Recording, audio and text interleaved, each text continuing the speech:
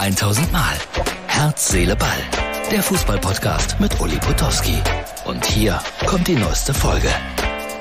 Hallo, liebe Freunde von Herz, Seele, Ball. Das ist die Ausgabe für Donnerstag. Jetzt ist es Mittwochabend, etwa 21 Uhr. Ich hatte einen langen Tag, beginnend um 6 Uhr beim Sportradio Deutschland. Dann war ich in Wipperfürth bei der Mini-WM der Kinder. Glaubt ihr nicht? Also hier ein ganz kleiner Eindruck. Da habe ich zusammen mit Tobi moderiert. Nur ein ganz kleiner Eindruck. Da war richtig was los.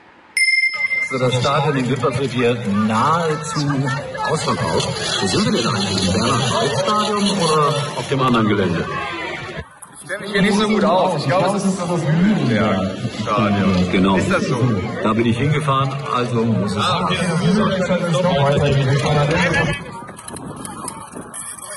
Ah, vollkommen egal. Wir nennen das, wir nennen das Commerz Arena. Ja? So, Kinder, WM, alles läuft und Deutschland ist auf dem Weg zu gewinnen.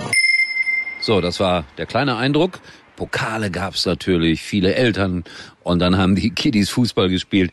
Da lagen zwei Plätze nebeneinander und wenn der Ball dann auf den Nebenplatz gelaufen ist, haben die Kiddies einfach weitergespielt, also oder hinter dem Tor.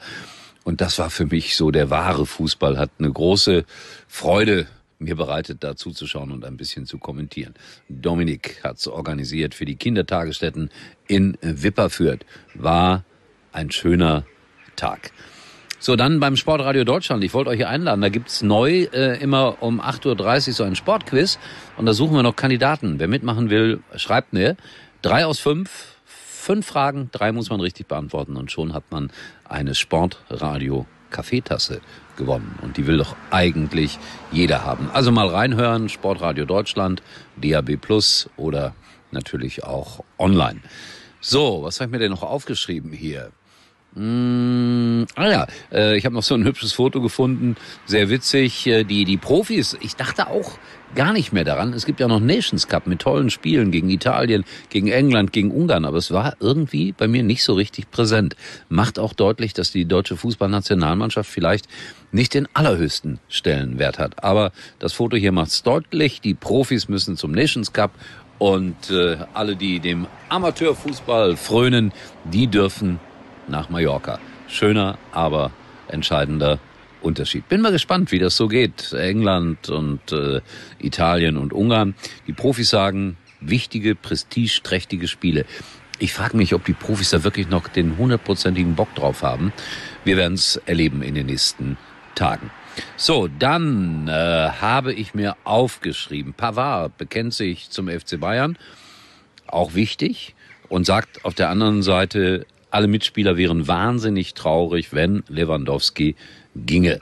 Heribert Bruchhagen, lange Zeit bei der DFL gewesen, Eintracht Frankfurt, der bezieht ganz klar Stellung und sagt, man muss mal ein Exempel statuieren gegenüber den Beratern und dem Spieler. Und das heißt nichts anderes als Lewandowski muss den Vertrag erfüllen und sitzt auf der Tribüne. Ach, Heribert, das wird keiner machen, weil es geht um so viel Geld, dann nehmen sie dann letztlich doch die 35 Millionen von wem auch immer. Ich bleib dabei von Barcelona und dann darf er ziehen, davonziehen. Dann, also ich werde immer wieder dazu genötigt, darüber zu berichten. Die Herren äh, Groß und Kaben hatten eigentlich beschlossen, vielleicht doch mal ihre Geschichte da aufzuarbeiten und miteinander zu reden. Aber dann hat Nils Kaben dem Spiegel ein Interview gegeben und hat gesagt, nee, ich bin mir da keinerlei Schuld bewusst. Da hat Toni Kroos überreagiert. Was macht Toni Kroos?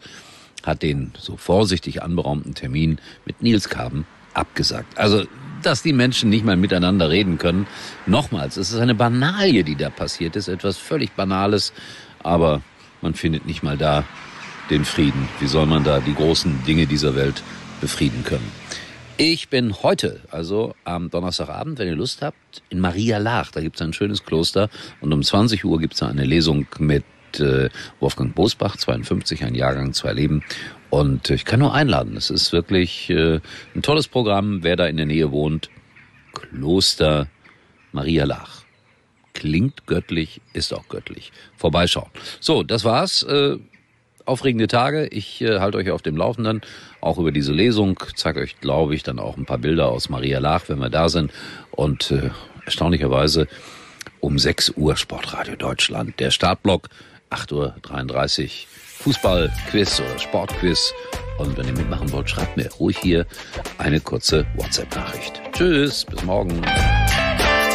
Das war's für heute. Und Uli denkt schon jetzt an morgen. Herz, Seele, Ball.